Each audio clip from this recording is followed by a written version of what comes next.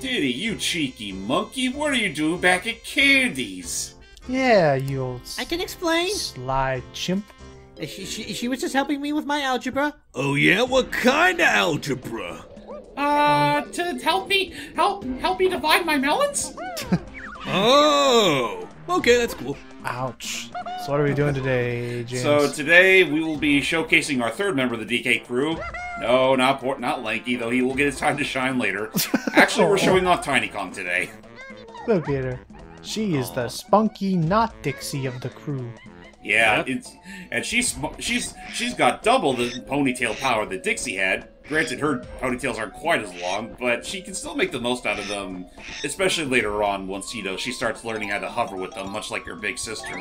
They are so banana-like, and that is a-okay. So, uh, so her her main Oh, color, primary color of uh, collectibles will be purplish, pink, uh, magenta. Uh, it, it, it- pure, pure and simple purple. Okay. So like Which here, I mean, the, in, whenever I think of, whenever I see like all the purple bananas, I immediately think, are those supposed to be like grape flavored or candy coated? Well, no, granted, the candy coated ones are Lankies. Hey, hey, have anyone ever like seen it Aubrey, like the blue bananas Oh, or boy. like like cotton candy can be depicted as being either purple or blue. I usually see it as pink or blue. Just I, I don't know. It's kind of, uh, so I guess yeah, it'd have to be either yeah. I, could, I especially looking at the coin that that here like here's the thing of like growing up like grape flavored drinks, grape flavored like fruit snacks. They never tasted like grape. I always, I literally called them like purple flavored because That is fair. Like I because it never tasted like grapes to me. And oh jeez, Oh, Oh yeah, oh oh. Uh, good thing it's only That's- temporary. yeah. So, um, true to Tiny's namesake, uh, her very first ability she can learn from Cranky Kong is to shrink. Yep. You don't say. It um basically this uh, takes the uh, clockwork kazooie egg kind of um, camera control and without having to use a projectile it allows us to right away go so i like this again like that they were building up up up from this and as far as like all that happened between kazooie and you know now and i think was Conker the last big platformer or was this On the N64, yes. so like between that and Conker, like they really did push the N64 to its limits at times. I think. Oh yeah, no, that like, I mean, that's pretty much been their MO since they started using the thing. Don't worry, she'll be okay.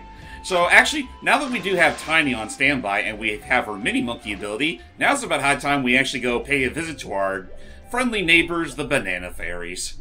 The whistling banana fairy just. I'm sorry. That's just what the freaking. That's what the thing looks like to me. You know, I can never get any sleep with that dang whistling out there in the distance. Oh, we never got our gun. Not yet. And actually, Oh. Tiny's is special in that her uh, firearm is actually not based on any particular fruit. It, hers is just regular old feathers. Oh yeah, she gets a crossbow. But mini. It, it seems it seems about the right kind of um, gun, gun for the uh, for the female um, demographic. For the female, for the female Pocahontas thing, yeah. Let's Pretty go much. visit the. Let's go visit. Uh, okay, guilty pleasure, remarkably cute design that this game has. Oh yeah, I mean, Uh, banana hang are they're perfectly harmless. Hello. Oh What's yeah, right? that's cute. That's the mom of the banana fairies, and unfortunately, she's going on a never-ending crying spree because all her children went missing. There was a huge tremor, and it scared all of my completely optional banana fairies. Sure, they're optional. I think they Uh, are. I, Actually, I think they are optional, though. Audit, though that being said, it is within your best interest to find them because they are what unlock a good majority of this game's extra stuff. Gotcha. Right. This is the idea is that like they are what will they are basically the key to our quiver upgrades and stuff like that. Gotcha. And for a total 100% completion, uh, we'll want to collect every single one of the banana fairies Oh boy. by using Um, a very special banana skin film. Photograph. Okay. Um. It doesn't seem a little bit contrived. Good try, but you gotta admit they must they ha- they must have a very savory aroma. And they're 100% edible. To savor the memories and I don't know. So Oh, and uh, not only do we get a ba- not only do we get a banana skin camera from her, we also get the ability to charge up our regular attack and to and to unleash a shockwave, which can you know hurt enemies that are within your vicinity. but also unearth uh, unearth stuff from all those dirt patches we've been coming across. Yeah, so that's how that works. And um, what that basically, uh, more on what that will unlock later. But yes, and uh, yes, somehow Tiny, you know, told all the other people. And do you count? I No, but does. you know what? Let's savor the memory. Well, now, can you pretty use the? I know the I know Pokemon Snap had an N64 like you know photo. Th- did this have any sort of like photo printing like connectivity elsewhere? Nope. The camera is primarily a gameplay element, and nothing more. Darn, Gotcha. s- Strictly for the fairies. Okay. And tr- and much like everything else, those two run under its own ammo. So be careful. There are, yeah, yeah. The game, hmm. But again, pushing it like, h- h- how to put it? Like, if this was on the PS2, I don't think I would have like You mean blinked at, or GameCube. Just regardless, if it was in that generation, I don't think I would have been as of like, oh, whoa. Oh. And this Oh. right here is pretty much what breaks the freaky banana coin economy in this game because those give five coins to every single Kong. so already whenever we save him, Chunky Kong is already you know invested in. Oh yeah, no, he's got he's got fat fat fat stacks of uh, unripened banana coins waiting for him. I just imagine don't like know. he gets out of jail, then all of a sudden he's like, "Oh look, I got a nickel in my pocket." I beat know the that- game. Oh, that's right. Oh, no, yeah, that's right. With unripe, yeah, more on that with his banana color later. So, um, the uh, yeah, no, but but but again, like if this had come out on the GameCube generation, I would not have been as impressed because you know that could have a lot of stuff like fit in to those games. But um, apart from absolutely requiring a RAM uh, memory upgrade, otherwise this thing would have crashed. Yeah, again, it's it's so- it's it's one of those cases that I'm still wondering. Actually, no, I, I remember again. It was like a memory leak, and like I assume they didn't have enough time to fix it, so that's why they were lucky enough to just find that you know loophole with the, uh, the expansion pack. Yep, and uh, otherwise, this I- game, otherwise this game's not really pushing the game like the actual graphical boundaries as much as as it could have. Hey there. That's cool. Okay, okay, talking over him though, because we're just getting, because again, we're just getting ourselves a cool, uh, you know, crossbow gun. Um, I had I- this one myself. I was, aw, I will admit, I was not, I was not old enough at the time this game came out to be the one buying my own games and stuff. That was, you know, the old days of like, you know, oh my gosh, it's Christmas or whatever. That's Yeah. honestly the same case with me because uh, I do distinctly remember when I got my N64, my own N64, because for the longest time I was primarily playing like those like N64s that were like that belonged to people I, that were babysitting me at the time. Yeah. And I eventually got my own, and I distinctly remember getting three games that Christmas: Mario 64, Mario Kart 64, and Donkey Kong 64. Huh? But uh, but but basically, it's just like I'm one nice. Basically, I'm just like I'm confused, or I I'm not sure if having the memory pack included unintentionally like upped the price. It might have upped the price, as far as I'm aware. I mean, it's definitely it was definitely going to be a loss for Nintendo either way. Yeah, I want to look into that. Uh, but uh, you, uh, how about you, Hyde? Uh, how about me? What now? What are Uh, your ju- thoughts on what are, what's your hip thoughts on Tiny Kong? Yeah, why not? She's a perfectly harmless character. Like, I will admit, though, I brought up a few times that I know, like, Matt tried to defend it, but honestly, I feel like there really is kind of, like, no excuse why they couldn't have used Dixie for this. I Uh, mean, maybe. yeah, I'm, I'm kind of on the same boat because, like, for all intents and purposes, everything Tiny can do in this game could easily be applied in Dixie Kong. They prob I think they only just did this because you know they just wanted to try a fresher face. And I mean, I can also understand because. If I'm not mistaken, Donkey Kong 64 was primarily uh, designed by people that have had no prior experience to the Donkey Kong stuff. Yeah, I'm I gonna guess look I would into- explain why it feels like a completely different beast. Like, not just, e- not even just in terms of gameplay. Yeah. I'm gonna, I'm gonna look into this some more, but I will say that um, let's see. I, I mean, and for those wondering, uh, it was uh, I guess stated that she is she is outright she's Dixie's younger sister. Yes. Uh, Although in the I'm- later games, she doesn't look quite as young. yeah, because of that weird redesign. But anyways, as I'm looking into this, um, Thanks, Nintendo. I guess careful. My my only guess as to why they um as to why they uh, maybe used Tiny instead was because they were still trying to you know catch lightning in a bottle with that whole idea of oh let's let let's continue to have people nice let's have people uh, look at our new Congo Seas every new game. Yeah, and I mean, say whatever you will about Donkey Kong 64, uh, the DK crew in its, its entirety has honestly been a little more prolific in the, the this day and age, more so than say Kiddy Kong. Huh? And Yeah. apparently she has, and she does have an official voice actress. Uh, yeah, Eveline Fischer. Yep. I mean, she's pretty she's pretty much been the de facto feminine voice for a good handful of Rare's games, whether it be this or Killer Instinct. Uh, I don't know if she voiced Tooty in um, Banjo Kazooie, but I wouldn't be surprised. I feel like she might have at least voiced Humba. It's possible. I possible. could see that. Yeah, I could see that. Again, like Rare's, Rare's whole thing about you know voice acting in general is that they just had their in-house staff do all the work, and it's like give them credit; they really knew what they were doing. up until Diddy Kong Racing DS. Well, that wasn't. Well, at that point, you could argue that like it wasn't exactly the same rare. It wasn't. Like, it really was not. Which is a shame, too, because, again, that's the same people that did all those GBA ports for Donkey Kong Country, and those are, like, you know, the, the crispiness of the sprites aside, were really solid. Do-do-do-do-do. But yeah, no, for the, for the majority of this part, we will be uh, backtracking through Jungle Japes and Angry Aztec with Tiny Kong now that we have her at our disposal. Yeah. You know, I, I brought up the notion before, but say we ever do get another 3D Donkey Kong game and they decide to, like, explore, like, a similar type of, like, ideas they have with 64, just, you know, iron them out, and that includes, like, the idea of, like, multiple playable Kongs. Like, what roster would you have for, like, a, a, a DK64 successor? Like, who would you keep, who would you replace, and so on and so forth? I would I would want to bring back I I mean I mean I would want to bring back ow, I would want to bring back Dixie Kong just because of, you know, how prevalent she was in the franchise up until then and even now given Tropical Freeze. Oh yeah, no, Dixie Kong's Dixie Kong's relevancy has never been higher, especially with the likes of Tropical Freeze and even now Mario Kart Tour.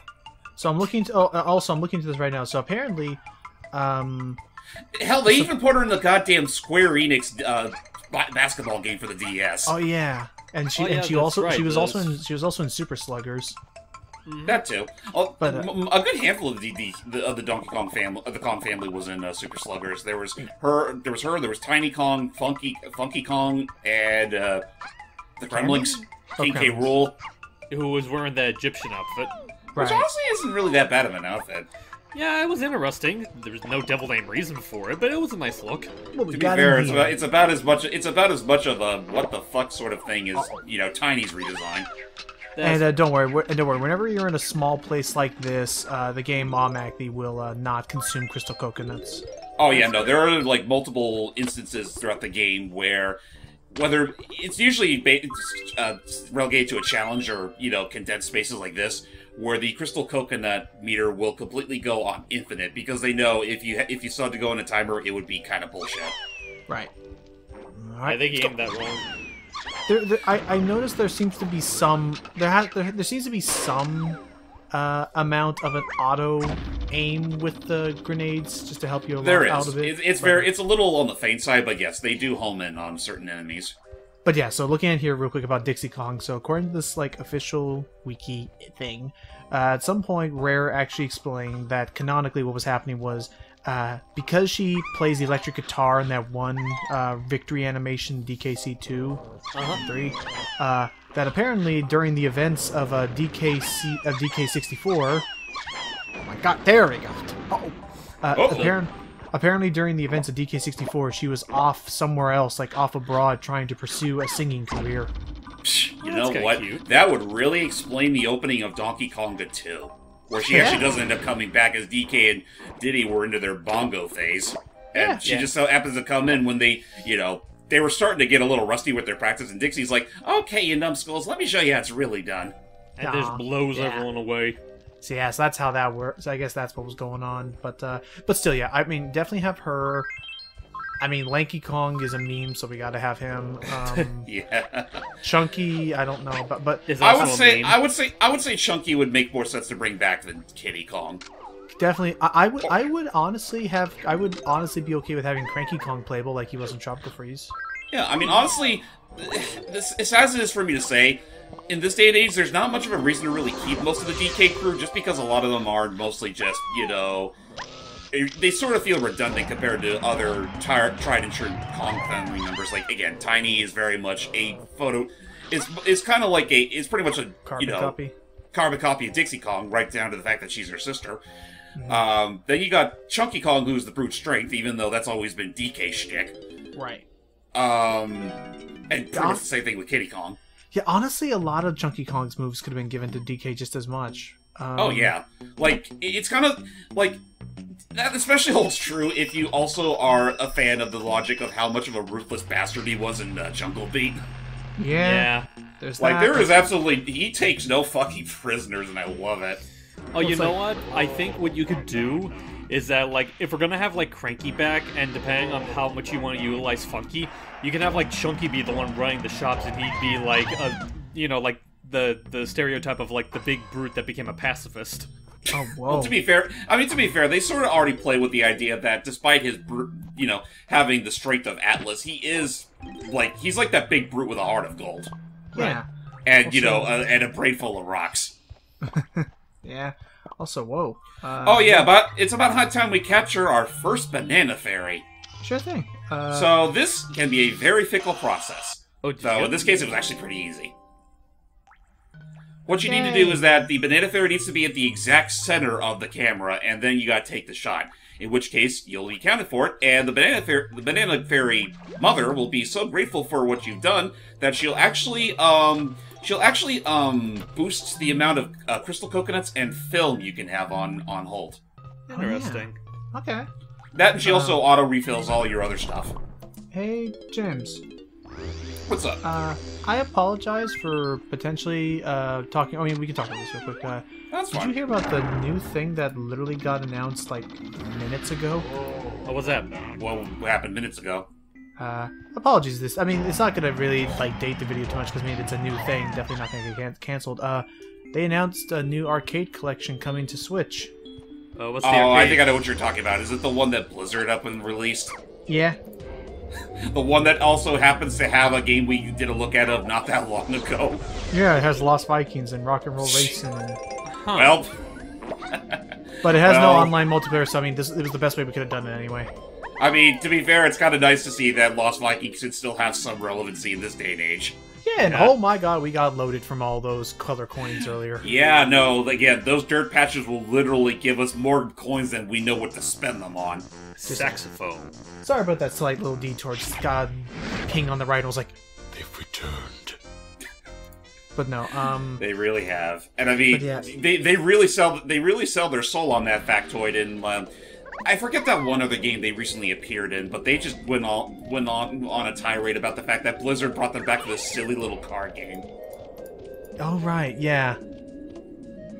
But yeah, uh, t- so yeah, Tiny gets to rock rock herself a saxophone, and I mean, she it, she rocks it pretty well.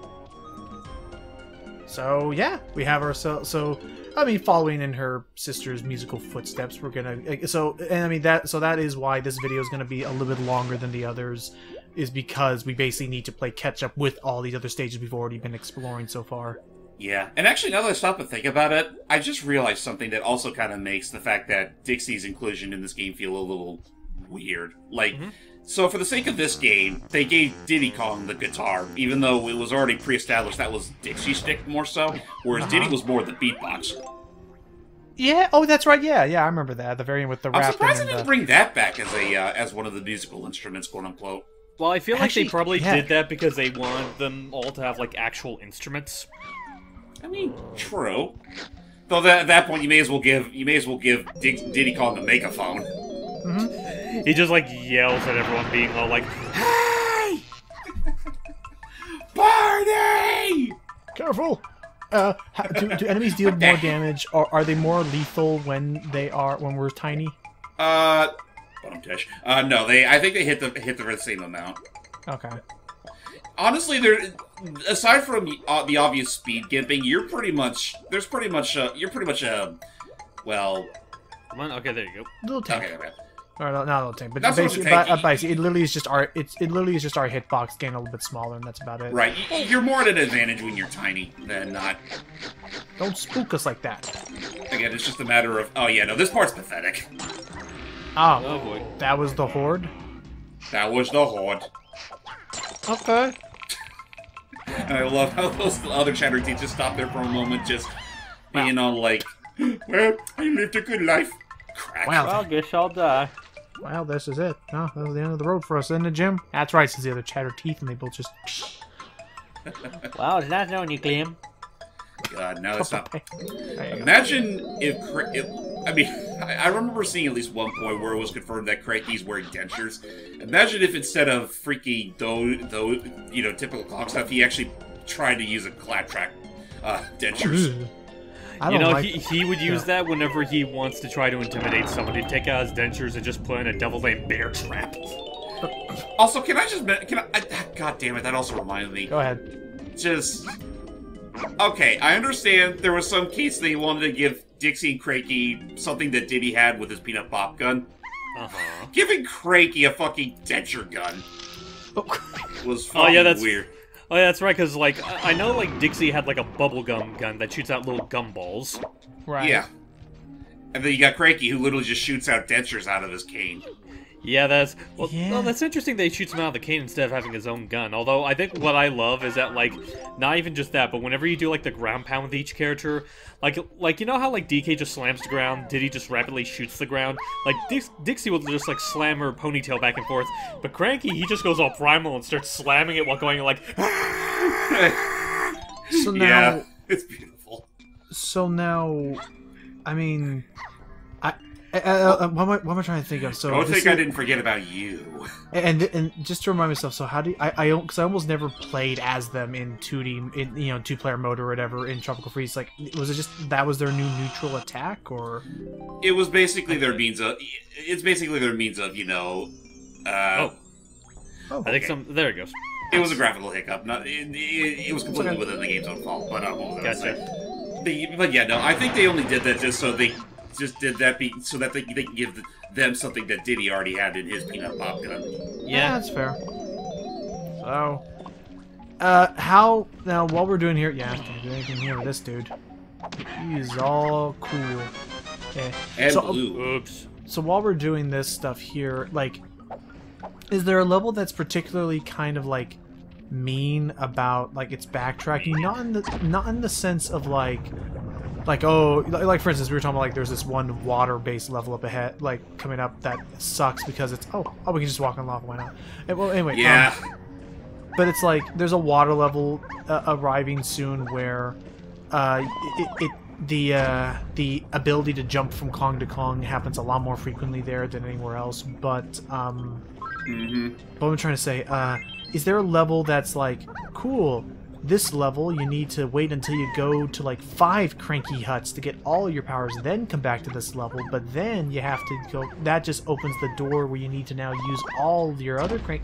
Is there a level that kind of gets like that where it's like like Banjo Kazooie? You can pretty much do everything in one run without ever having to come back with another power up. Except for like Uh, maybe one or two jiggies. Go yeah, I Gobi's and Freezeezy was always good. Yeah, but yeah. What's What's funny is is that much like Banjo Kazooie before it, this game actually gives you. Uh, this game is actually the only thing. The only thing, the only gatekeeping this game mostly does for the most part is just with the Kongs in general. Like, Crank- you- uh, the abilities that Cranky gives you throughout the worlds are usually a, a, a majority of which is pretty much all you need for the sake of most of it. Um, that being said, though, it does have a very similar guilty bit that Banjo Kazooie also had, where one particular ability that you need in order to get the, golden banana also requires getting a a, uh, ah, a potion from from a later level, and and sure enough, it's the exact same fucking thing that Banjo Kazooie did. Oh no, where one stage has the thing that you need from the other stage, which has to go back and ah, nuts. And the best part is, it's for a race. Huh. It's literally the they literally pulled the same shit I hated in the first game a second time. Though that being said, though that's the only real like guilty guilty example I can think of of you know locking locking you out of a golden banana that requires a later levels um, uh, cranky potion. Right. I know there's Okay. a better way I could have worded that, but that's about my my mind went off to lunch. It's okay. It's okay. We're just it's it's a it's a it's a temple scenario. And where is that banana fair? There he is. Oh yeah, and th- this is this is probably this is where Banana Fairy catching can be the, um, the most annoying because some Banana Fairies are on fucking speed. Oh, you got that one. It's it's very finicky. If sometimes it feels like you shouldn't have gotten them. Other times, oh wow, that counted and stuff like Oh yeah, no, there are going to be times where catching them can be a very can be best described as a happy accident. pretty much. I careful. There's some great grenades. Um, but I guess uh, going off of uh, stuff we were talking about earlier with the other uh, DK stuff, um, did you have any memories with the N64 hype? Um, this like game in particular. Not, Well, just in general, like, because we it ended up, uh, just because earlier we ended up accidentally kind of surfacing memories of like, oh, the old times of when I got gifted this and had to like, all that stuff. Like, your thought, like, any of those kind of just come forth Well- from the recesses of your mind? I remember years ago, back, I think it was back while I was still in elementary school, my mom used to, like, have me, like, spend the mornings over with a school friend of mine. He had an N64. I think that was the first time I ever got to experience games like Mario 64 and Mario Kart. Oh, okay. And I, I think he also had Star Fox 64. I, I, I'd have to, like, scrape the back of my mind to make sure I'm thinking right. That's fair. Oh no, we're gonna die.